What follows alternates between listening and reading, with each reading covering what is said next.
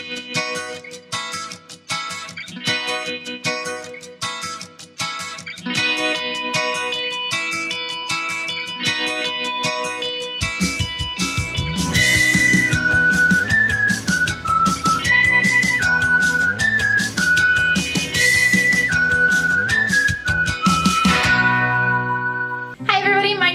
Welcome back to my channel. I talk about all things books here on my channel and today I'm going to be doing my first author spotlight. This is where I talk about one of my favorite authors whose books I just can't seem to get enough of and today I'm going to be featuring Penny Reid. So Penny Reid is an author of the Knitting in the City series, the Bearded series I guess you would call them, and a couple others as well. I've read literally every single one of her books and I, for the most part I have absolutely loved them. There are some that I read in like a day.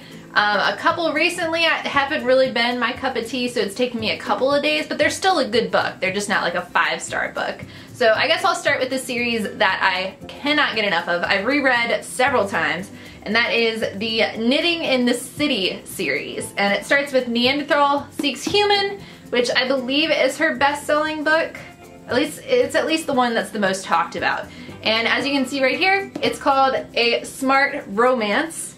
And that's for a very good reason. Um, Penny Reid was a technical writer, I believe, for like science things.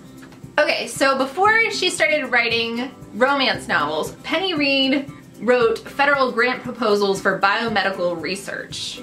So that kind of gives you an idea. She's very, very smart and a lot of that technical writing does come through. So it reads a little bit like a romance novel. You get that like warm fuzzy feeling, but the concepts, the characters, the plot lines are all a lot more in depth and complex than you would find in say like a trashy romance novel. So I actually lucked out and I won the whole series of uh, Knitting in the City from her Facebook page, so that's really awesome. I'll have it linked down below. It's seriously so cool. It's such a great group of people. But all of these, I read all of them. They're amazing. I keep them in the little like plastic, that's what that rustling is, um, that they came in just, I don't know, for safekeeping. But she's just an amazing author. I like pretty much all of her books. The Bearded series, I, I, have read them all, I have liked them all, but there have definitely been some that I've liked more than others. So maybe I'll go more in depth on that on another day. But I just kind of wanted to give her a shout out because she's one of my all-time favorite authors. And you know, it's just one of those, if you're having a really bad day, you're just stressed out, you need something that you know is gonna be good, that's gonna make you smile, I always seem to go for Penny Reid books, so I thought I'd share. If you have any favorite authors that is kind of an automatic buy for you, please let me know down below. I'm always on the look for new authors, new books, and yeah, that's all I have for you today. If you like this video, give it a thumbs up. Don't forget to subscribe, and I will see you guys next time. Bye!